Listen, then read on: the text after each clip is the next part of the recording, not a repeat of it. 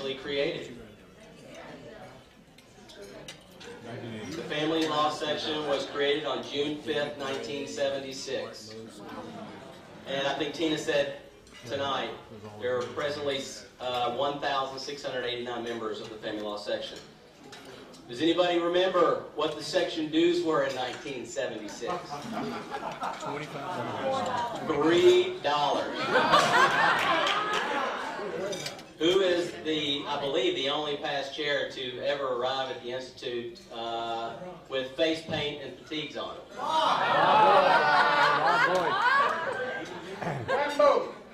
All right, let's talk about the Family Law Institute. The Institute certainly the biggest event of the year for the section. I think, you know, looking back, and if you review through the summaries, really a barometer of what's going on in the section or the uh, family law practice at that time. And I think Chris mentioned, if you believe Steve Harper, uh, you know, it is the most well-organized, well-attended, um, and uh, most enjoyed CLE among all the sections. And uh, of course, it, it, it had to start somewhere. And uh, so somebody tell me, when was the first Family Law Institute? 1984, 83. March 1983. Who initiated it? MT, M.T. Simmons.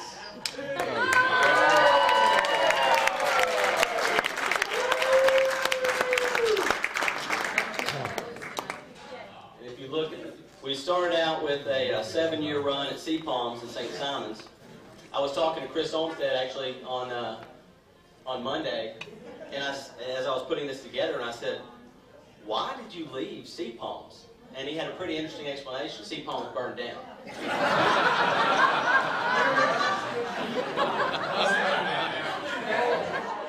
Wilbur, I remember you had made mention that uh, of the, the first meetings of the section, I believe you said they were held at the Marriott Hotel downtown.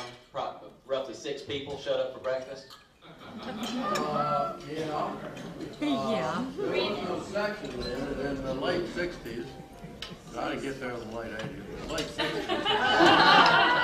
Jack Turner, Cadenhead, Mildred, Mildred Kingloff. She was chasing Paul Cadenhead, it was a funny thing at. But we would just meet at the Marriott, which was on Courtland Street at the time, and we'd have breakfast. And there was no section, there was no agenda, it was just talking about the general BS that we go through, you know, so.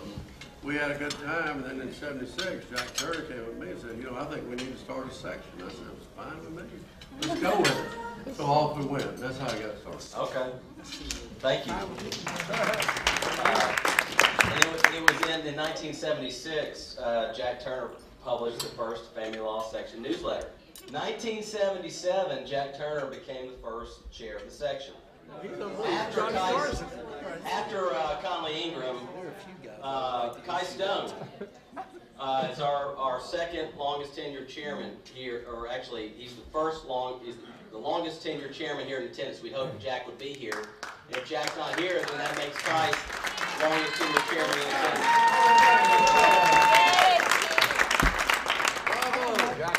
M.T. Simmons was our sixth chair. It was MT, it was MT who initiated the Family Law Institute. So MT, how did, how did, uh, how did that come about? As best I can remember. Uh, Barney Brannon was in law school with me, and Barney called me and said, you all need an institute. And it should be similar to that of the uh, real estate bar. And Barney came over to my office and he met with, as I recall, Wilbur Warner, I think Ned Bates was there, maybe Kice, I don't, I don't remember. But anyway, we talked about doing a family law institute. We initially thought about doing it for people who did nothing but family law, who specialized in family law. And our first few institutes were really for people who uh, practiced almost solely in that area. Of course, it's expanded over the years, and um, which I'm proud of that it, it has. Wilbur was our first, first chairman. Uh, I'm probably the only, uh, uh, chairman who did not have to do the chair of the Family Law Institute. And, uh, That was smart. I remember when I took over from Kice, I, it was one requirement when they asked would I be chairman, and that was Jack Turner would continue to do the I newsletter, remember that. which he did for a number of years. He agreed he would do. And uh, another thing I remember is uh, at some point, I think when Nancy Lawler was chairman of, the um, section, she wanted to expand the newsletter, and she asked if I would be associate editor, and it was to try to bring other people in other than Jack, because it had been his sole, sole uh, thing for a number of years, which he did a good job with. And so I, and so we did expand it, and it is expanded uh, to a great, great newsletter, I think. But it's been a great section, and I'm very proud of it. That's the reason I continue to come.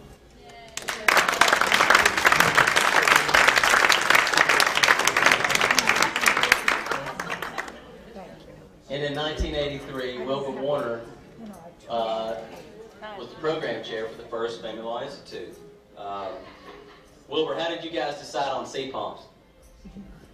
Well, we didn't have a lot of places to go at that time. That was back before Burger We had no money and no place to go. We started doing it out of the back of our car, John. It doesn't work, Will. Tailgate. You know, on a personal note, and I won't take this second, but uh, I thought I was at a, an alumni meeting in Watermelon Bates when I came in here. Laura Davis, Laura Davis. And I'm Proud of all of our graduates. And I'm glad they're doing so well, and I commend them for being here and doing great. Here's all our alumni. On, on the Institute, Ba- Barney Brown called me on the phone one day and said, I want to have a convocation. I said, I don't know what that is.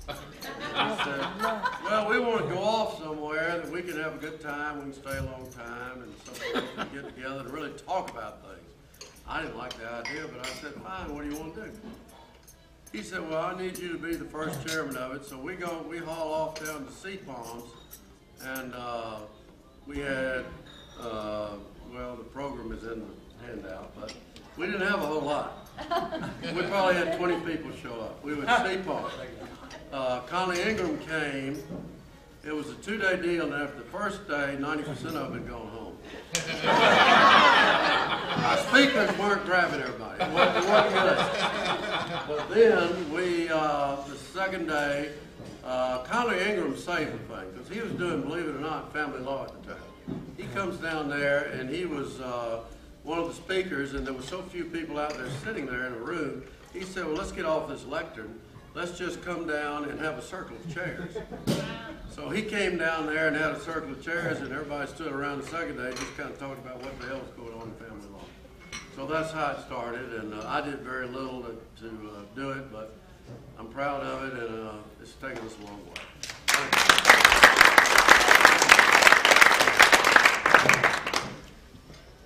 1986 was when the first child support guidelines were implemented, uh, and that's credited to John Jerido. The 11th chair of our section, uh, I'm, I'm proud to call my, my mentor, Ned Bates. Ned, any, uh, any recollections, memories that stand out from your term as chair? Uh, yeah. Hang on, See, pretend it works. Yeah, it worked, yeah, it's working now. I was just looking at this thing. I, I spoke at seminars I don't even remember. Well, one thing, I I don't remember what I did yesterday either, but, uh, but you know, it's section, it's amazing. Everybody said it, but my perspective is, when I first went to work for the law firm of Westmoreland Hall and O'Brien, and then before I got there, Don O'Brien left and it was Brian. Wilbur recruited me out of law school. they didn't tell me they did divorce cases. Ruined And so I get there and I find out they're doing all these divorce cases and I ask Wilbur and he says, yeah, they didn't tell me that when I came in. And so when people used to ask me, well, what do you do? I said, I'm a lawyer. What kind of lawyer? Oh, I do litigation. You know, it's like a deposition. I don't give any information. I just ask. You know, well, what kind of litigation do you do? Well, uh, personal, but not personal injury. Do you do estate litigation? Well, some, yes. Uh, Well, what kind of litigation, you know, well, you don't do this, you know, no criminal, no, no criminal. Uh, Well, actually, ha, uh, ha, ha, ha, I did some divorce litigation. Uh, And so I I was really, I mean, I admit, I was embarrassed to say that's what I do. And, uh, and I really didn't want to do it. I did anything that the firm had except divorce. I would do truth in lending defense. You couldn't win. EEOC defense. You couldn't win. Give me anything, anything. I'd, Wilbur and I, re- I, I'd get me appointed as the straw man in estate litigation. I didn't have a client, but I could go to court and argue, you know, for the straw man. I do anything. Don't let me do divorce cases. But then eventually, eventually, what happened is in 80, Stokes, Stokes comes along, and all of a sudden the light bulb goes off, and I say, you know, this is what I've been doing, except it's personal. This little commercial litigation where people are fighting over property, and all of a sudden, that's what divorce is going to be. We're going to have experts, and we're going to have tax laws, and we're going to have all this stuff. It's really going to become more than what my partner Wilbur used to say. We just, just used to go down to the courthouse and say bad things about each other and hope that the jury liked my client better than yours. And this is going to be more interesting. And truly, that's when it all started. That is absolutely when it started. And I decided I'm going to do divorce work. I'm going to admit I do it. And, and, uh, and I went to the nuts and bolts seminars. It was like doing a research paper for law review. I researched all the laws in the whole country on equitable division. Nobody, uh, we didn't have equitable division until the Supreme Court said we had it. We didn't know it. And I remember thinking, this is like a big jigsaw puzzle. It's called equitable division. And we don't have any statutes. There's nothing. Nobody knows what it means. So we can go to court and argue whatever we want to argue. And, and then the Supreme Court said, no appeals. So we just, we just go down there and we make our own law as we go. It's a divorce lawyer's dream. So then this section took off. Chris Olmsted, our 14th chair. Um, Chris, anything that you'd like to share? Well, just a couple of things. Thank you with the First Institute, named Wilbur, left the scene, called me and asked me to participate. He said, I want you to talk about expert witnesses, and you gotta fill an hour. So, it's kind of at a loss. I went down and met with my former partner Marvin Shube and said, what can I talk about for an hour about expert witnesses? Now we've got seminars that are three days long and talk about expert, you know, witnesses. And the only other thing I'd like to mention is, I sort of, with apologies to the prior chairs, decided that when I was chair, that I was tired of just these plaques we got. So So all of you subsequent chairs have now received, Rabel. received Frable. Um, came from you. Well done. I think we need to know about the history of the Olmsted. I don't think anyone has told us about the history of the Olmsted. You all know about, or at least those of you lawyers know about the Fifth Amendment. Yeah. Privilege Yeah. against self-incrimination, where you say, I don't know because I don't want to remember. Right. And I don't have to tell you because the law says I don't. But the Olmsted fits a narrower niche. And I remember an institute, I think John Mayoue was the chairman of It's all his fault. And Chris was presenting on some topic which is lost in antiquity. And he was asked a question by someone in the audience, and he said, I don't know. An answer to it. No lawyer says, I don't know. They say something else. Uh, I'm not sure, let me defer to, let me suggest, but they never say, I don't know.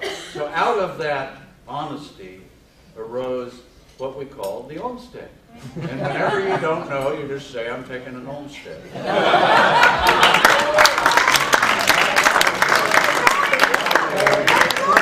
Our fifteenth chair was Martin Huston. Martin, anything you'd like to share? Surprisingly, there is.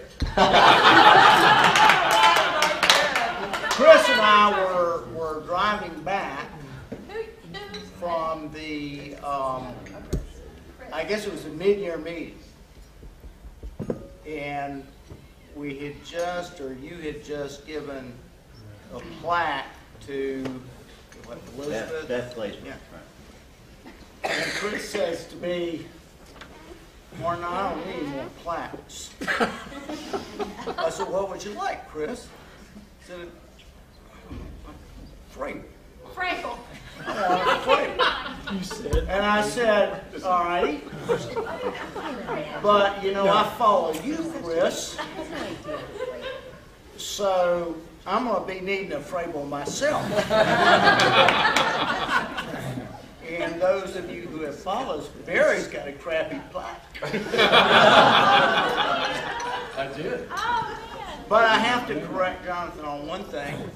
Schiffman, who didn't speak up, was not the chair when we extended the child support guidelines. I was. Schiffman was chair when they passed the um, life insurance for child support. Yeah, you were. I remember, you don't. Uh, No, I'm lost. I'll explain it in a minute.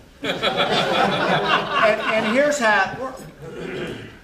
As far as I can remember, it was during my term that we added uh, at-large members to the uh, executive committee. And, and I'm gonna take credit. Shiel Edlin was at it. Where are you, Sheila? Back there. All right, Sheila. All right. Bar mitzvah. I appointed as our legislative liaison, our first What year was that? legislative liaison. What year was that? Oh, five. Big time. This is this, this is He like, did a great job. he did a great job and he did it forever. He did it for freaking ever. And the first bill that he really got hung up on was Kathy Steinberg's bill to extend child support to age twenty. And thanks to Shiel's efforts, that bill passed. Yay, Sheila. I Well done, Sheila. I happen to have been chair during that period, and I am also the first person to have found a use for Sheila.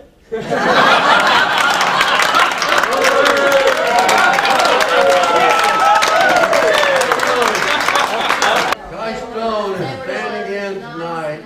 Jack Turner was supposed to be here, but he's not able to be. So Guy Stone is going to cut the cake.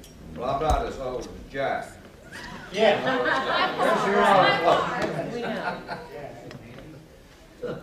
All right. How big a piece you cutting, guys? So you're cutting half, what are we gonna do with it? I'm passing, I'm passing. And I would like to propose a toast to all of you for bringing all of us to where we are today.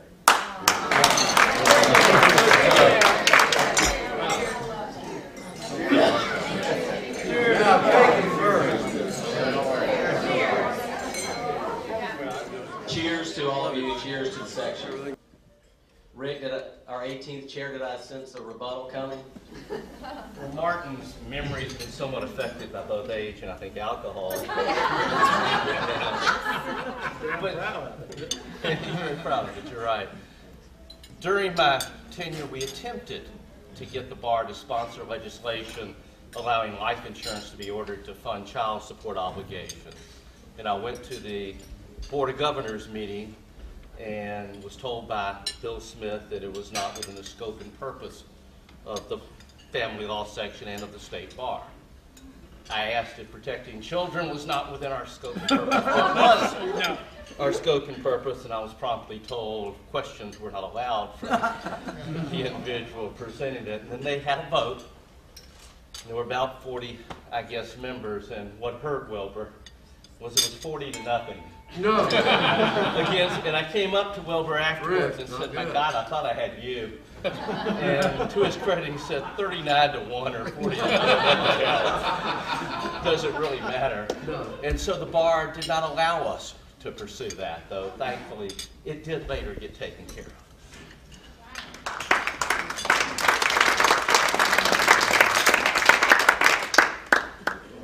In, uh, in 1995, the Family Law Section Professionalism Award was established. Uh, the section, in conjunction with the Convocation on Professionalism, established this award. Uh, it was given in recognition of the person who the section deems to have most exemplified the aspirational qualities of professionalism in their practice as a lawyer and/or judge. Here you see the list of past recipients. In 1999, the award was officially named the Joseph T. Tuggle Jr. Professionalism Award.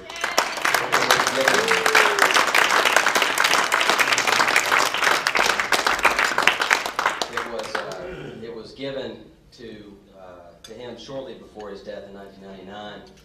Uh, John Mayoue spearheaded that, and I can tell you, uh, having been there, that um, there is truly uh, no greater honor that he cherished more than that. And John, I, I thank you for that.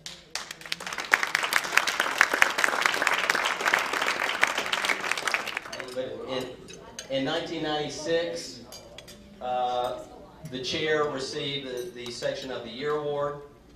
Uh, Nancy was our chair. Um, was that, I believe it was the first time the chair had received the award. In 1996, the, the Family Law website was also created. It was actually created at the same time as the State Bar's website.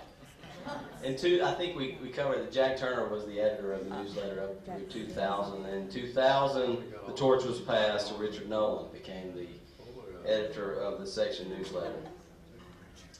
Uh, and then we get into 2001, and 2002. Uh, Elizabeth Lindsay was our 25th chair of the section. We clarified that during our term, we did receive the Section of the Year award. Uh, moving on the timeline, 2002, the newsletter was posted to the section website. We've heard a lot about the pilot project. Um, Bill spoke of his involvement with that, and I think that is was truly uh, a, a big development for the section. Um, going back to the timeline briefly, in 2005, uh, the torch was passed on the on the uh, newsletter. Uh, Randy Kessler and Marvin Solomiany, uh, Marvin who's here, became co-editors of the newsletter, and uh, I think uh, they have done uh, a tremendous tremendous service to the section in terms of the uh, the newsletter. Um, in 05, that was also the beginning of the Family Law Committee of the YLD. Um, I'm particularly proud of that because to date, um, and hopefully many of you have had the opportunity to attend the annual fundraiser that we do, the Supreme Court, um, that benefits the Bridge. That's a home for abused and neglected adolescents um, in Atlanta that um, that we have raised to date over seventy thousand dollars. So that's great. That takes us to 2006. Um, received the Section of the Year award under the leadership of Steve Steele, and then taking us into 2007. All that hard work paid off. In 2007, the new child support guidelines uh, went into effect. Also at the Institute in uh, 2007, I think a significant moment for the section. Um, Kirk Cagle was the program chair at that institute. Uh, we had all the Supreme Court justices attend. Um, and uh, they presided over a mock trial, and the attendance at the at the institute that year eclipsed 400 lawyers. Um, it's tremendous. Good job, Kirk.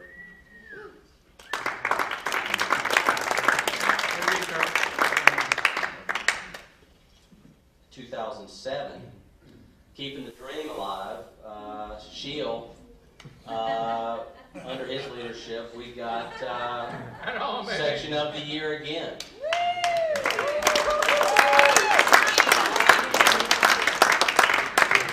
Um, I wanted just to say, well, two more things. One is the, the uh, seminar that I chaired, we had twenty-five thousand lawyers there, or or something close to that. That was a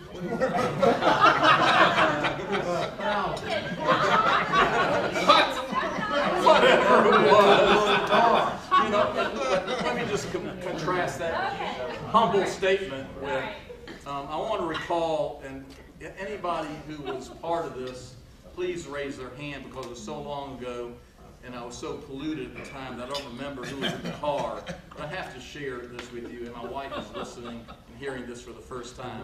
But in about 1984, I was um, fortunate enough to attend my first annual family law seminar in Flea Bite City, wherever it was, Seacon. Flea Bite City was how It was a dump. It was a real dump. And the highlight of my memories for that evening, for the, for the weekend there, was uh, spending the night at the local bowling alley. Does anybody recall being with me on that evening? I recall, I recall being, I- were you there, Chris?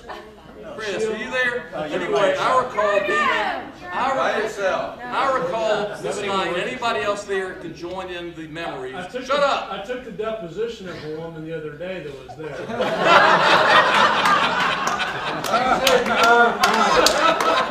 And let me quickly say, because my time is quickly going out of the hourglass, and my wife is looking at me. But I recall very vividly that in the car driving was one Stephen Clifford. We were leaving the bowling alley. Stephen Clifford, Ralph Perdomo. Okay, y'all remember him? I don't know if he's still alive. No, he's not. He's not alive. Sure. Stephen Stephen, Stephen should not be alive when I finish the story. Ralph Perdomo, Stephen Clifford was driving, and uh, George Stern and I were in the back seat. Anybody else? Were you there, Martin? We spent the evening at the bowling alley, okay, drinking beer and bowling, and Stephen was driving us back to the hotel. And all I remember about the event, and this is my first memory of the family law section, which is dear to my heart, was Stephen driving down a one-way street with his teeth on the steering wheel going the wrong way. Thank you all.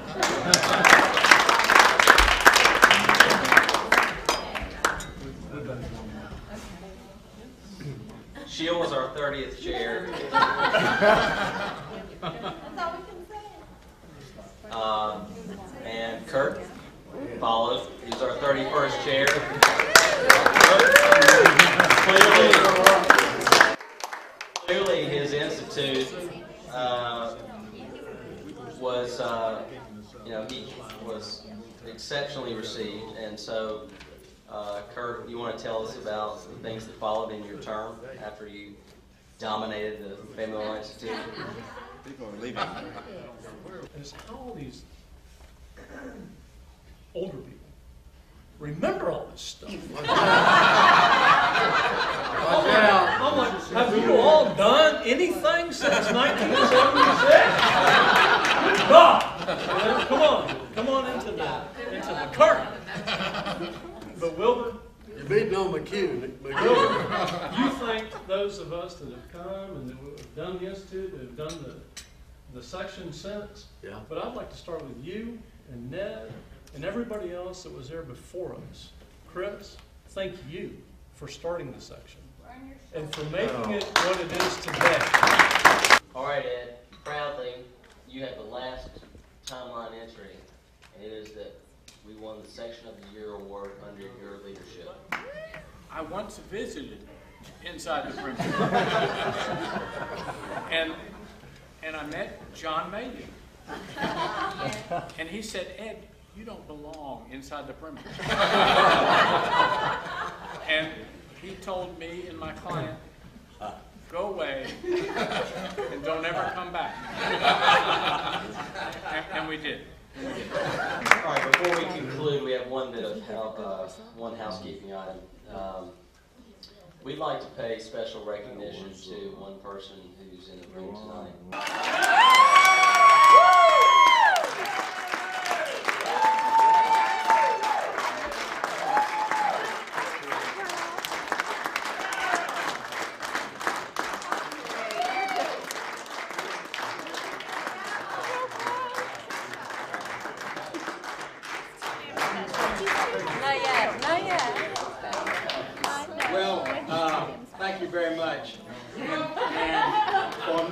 it was Bob Boyd. Because Bob called me up and said, I want you to be on the executive committee, and that changed my life, uh, professionally and personally.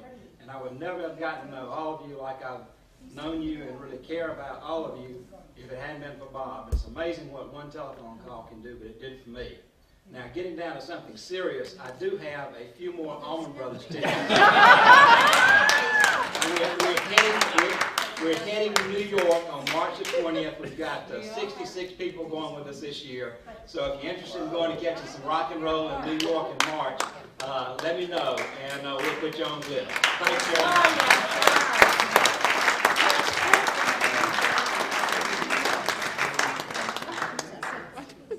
Unless anyone else has anything to add, uh, that concludes the program. Thank you so much for everyone for being here